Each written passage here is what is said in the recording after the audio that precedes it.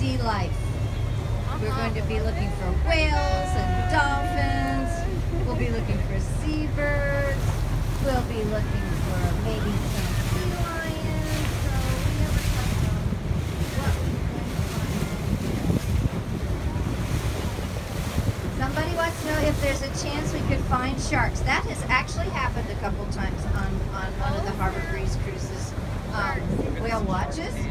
They actually saw, well one time they, I wasn't on board, they saw a massive shark. And you could tell by the, the fin and it came right, the dorsal fin, it came right up to the boat.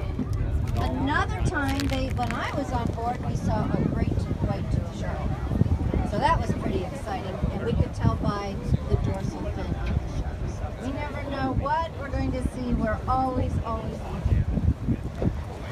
Now before we get into talking about all the animals, what we're going to see, how we're going to see them, I just want to point out, as Captain Stan already